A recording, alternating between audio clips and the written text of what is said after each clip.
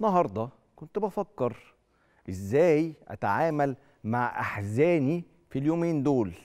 زمالك بيخسر رايح جاي من الوداد الأهلي بيخسر رايح جاي من صن داونز والحالة صعبة.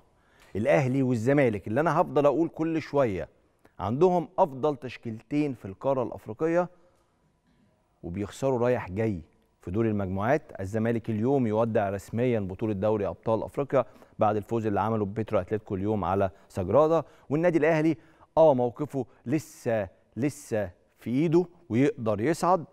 بس إيه اللي بيحصل ده؟ ليه؟ ليه؟ وقعدت أفكر عشان بس إيه؟ ما الاقيش نفسي زي كل الناس. يجوا النهارده يقول لك أصل موسيماني ما كانش جيد أصل جوزوالدو فيريرا ما لحقش وأصل كارترون هو اللي بوظ الفرقة واصله في لاعب بعينه ما بيديش للفرقة وفي لاعب بعينه بيفكر في التجديد أو بيفكر في الرحيل وفي لاعب الناحية الثانية لسه ما اداش في في الأهلي وفي لاعب أصله مش بيلعب في مركزه. في مليون كلمة ممكن تتقال لو هنحلل مباراتين والسلام. بس هي الحكاية أكبر من كده وتستحق حلقات وهنتكلم في حلقات. بس أنا هقول لكم أفكاري أفكاري. وانت وأفكارك. بس في حقيقة الأمر في مشكلة عندنا. في مشكلة. المشكلة دي بتقول إيه؟ وهديها لك بالدلائل.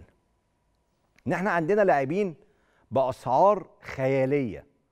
لاعبين بأسعار يعني بتوازي أسعار لاعبين بيلعبوا في أوروبا وفي دوريات كبيرة. يعني تلاقي لاعب مثلا بياخد له 40 50 مليون جنيه في الموسم. تلاقي لاعب بياخد 30 40 مليون جنيه في الموسم. تلاقي لاعب بيجي له اعلانات زيهم في الموسم. فالأرقام دي تخليك تفكر هو أنا اللاعب اللي عندي ده أنا مش عايز أحدد أسماء أو أقول أسماء بعينها عشان هي على الكل. هل اللاعب ده بمستوى أصلا اللاعب اللي بيلعب في أوروبا؟ طيب هل إحنا اللعيبة بتاعتنا آه لعيبة خيالية؟ طب لو هي لعيبة خيالية وعظيمة وتستاهل الأرقام دي ليه ما جالهاش عروض أوروبية؟ في لعيبة بتاخد الأرقام ديت ورجعت من أوروبا عشان مستواها ما كانش جيد في أوروبا. طب هم بياخدوا الأرقام دي ليه عندنا؟ إيه إيه هو حجم المنافسة عندنا في الدوري عشان يبقى اللعيبة بتاخد الأرقام ديت؟ طيب لو هتاخد الأرقام ديت عشان تجيب للأهلي أو الزمالك دوري أبطال أفريقيا أو بيراميدز والمصري آه، بطولة الكونفدرالية ممكن أفهمها. ممكن. وإن كان ده برضه مش مقياس. عشان أنت بأقل مجهود هتقدر تاخد البطولات ديت بس لو ركزت واشتغلت كويس. حتى بالمستوى أو الإمكانيات اللي عندنا. طيب هي الأزمة فين؟ الأزمة إنه إحنا بدون قصد مش بقصد أو إحنا على الأقل يعني في مجموعة كبيرة بتعملها بدون قصد وفي مجموعة قليلة بتعملها بقصد اللي هي صفحات على ال social media اللي هو آه، ادعم فلان واللاعب الأعظم واللاعب التاريخي وده مارادونا وده ميسي وده كريستيانو وده ريفالدو. ونقعد ندي مسميات أسماء لاعبين عالميين على لاعبين مصريين. تمام؟ في ناس بيعملوها قصد على بعض الصفحات السوشيال ميديا ويطلعوا لاعب السما وينزلوا لاعب تاني الأرض. بس إحنا كمان دايما نتحدث عن نجوم وأسماء كبيرة. بس هي في حقيقة الأمر أسماء كبيرة وسطينا في الدوري في الكورة بتاعتنا. لما بنيجي نواجه فرق بره بيبقى عندنا مشكلة. عندنا مشكلة في إيه؟ مش في quality اللاعبين في العقلية. إحنا لاعبينا مستكفيين فنيا. أو أنا أنا كده كده لعيب عظيم. أنا كده كده لعيب كبير. أنا كده كده اسمي منور كل صفحات ال social media. بس هو في حقيقة الأمر أنت لما بتلعب في القارة الأفريقية اللي المفروض المستوى أقل منك كتير أنت بيبقى مستواك أيضا قليل. طيب أنت بتيجي تلعب في القارة الأفريقية من المفترض إن الفرق الأفريقية اللي أنت بتلعبها دي معظمها طلعوا لاعبيهم اللي هم الصف الأول في أوروبا. أصلا. يعني لاعبيهم الصف عشان كده بقول دايما الأهلي والزمالك الأقوى عشان إحنا لاعبينا وسطينا هنا. ما بيطلعوش بره هم في وسطينا. فإحنا لعيبه الصف الأول عندنا بيلعبوا في الفرق الكبيرة عندنا. لكن هم لعيبه الصف الأول بيطلعوا في أوروبا. في أندية فرنسية إيطالية ألمانية إسبانية إنجليزية. إحنا بنحتفظ بيهم هنا. ودي قصة تانية هنتكلم فيها. فإحنا من المفترض لعيبة صف أول بس المينتاليتي العقلية ما بتحسسناش إن كل المباريات صعبة.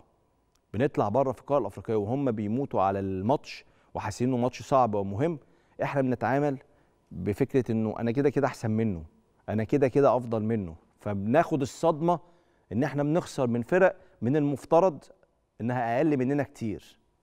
طيب الأزمة فين؟ الأزمة إن إحنا بقالنا سنين في أفورة وفي مبالغة في أسعار اللاعبين. ودي قصة يعني كتلت بحثا و... ولازم لازم البحث فيها يستمر ما نوقفش يعني. بس هي كتلت بحثا إنه أسعار اللاعبين مبالغ فيها. أسعار اللاعبين مبالغ فيها ليه؟ مش عشان معناش فلوس نقدر ندفع للاعبين في نادي ولا النادي الفلاني. لأ. عشان هل هو يستحق الرقم ده ولا ما يستحقش؟ طيب هل ده معناه إن إحنا لاعبينا سيئين؟ لأ مش سيئين. بس يلعبوا في level معين. عشان كده وإحنا بنفرح بمنتخبنا قوي وزيادة عن اللازم. هو بيلعب في كأس الأمم الأفريقية. فرحانين عشان إحنا عارفين إنه اللاعب المصري إدى ثلاث أو أربع أضعاف المستوى الطبيعي بتاعه. فوصلنا لل final. إن المدرب اللي مع منتخب مصر إدى quality شغل فني محترم فخلانا نوصل للنهائي. لكن على الورق على الورق والأسماء لا منتخب السنغال جيش من اللاعبين المحترفين في الأندية الكبيرة في أوروبا. كوت ديفوار نفس الأمر المنتخب النيجيري نفس الأمر المنتخب الكاميروني نفس الأمر حتى المنتخب الغاني نفس الأمر المنتخب الجزائري نفس الأمر. ده سببه إيه؟ إن إحنا بنبالغ في الأسعار. خد بالك بقى بنبالغ في الأسعار اللاعب المصري هنا في الدوري المصري لو إحنا ما ادينالوش الرقم ده هنا في الدوري المصري هيطلع في أوروبا. فإحنا نستفيد كمنتخب مصر. فيجي بعد كده لما نيجي نلعب مع السنغال آه وارد إحنا نخسر. يعني ممكن يبقى عندنا 20 30 40 50 محترف وممكن نخسر من السنغال نخسر من كوت ديفوار نخسر من أي منتخب وممكن نكسب. بس ساعتها هنخش المباراة وإحنا راس براس فمش محتاجين ندوس بنزين على الآخر عشان نوصل للمستوى اللي قدامنا. لا ده مستوانا وده مستواكم وإحنا في, في نفس ال level لكن تيجي تقول لي هو إحنا ليه بندافع قدام السنغال؟ هو إحنا ليه بندافع قدام كوت ديفوار؟ هو إحنا ليه بندافع قدام المغرب والجزائر وكل المنتخبات دي؟ أيوه عشان لو ب quality اللاعبين أنت عندك محمد صلاح فارق عشان موجود في أوروبا من كتير. إحنا لعبتنا رجالة عندهم روح وعندهم حماس و... وإن شاء الله هيبقوا موجودين في كأس العالم بإذن الله بنفس الإمكانيات ديت وهو ده اللي كسبنا طول العمر الروح والحماس. بس أنا نفسي بقى نوصل لمرحلة اللي هو إيه هي قصة مش قصة روح وحماس قصة إنه أنا كمهارات وكإمكانيات وكعقليه أنا أفضل من أي منتخب.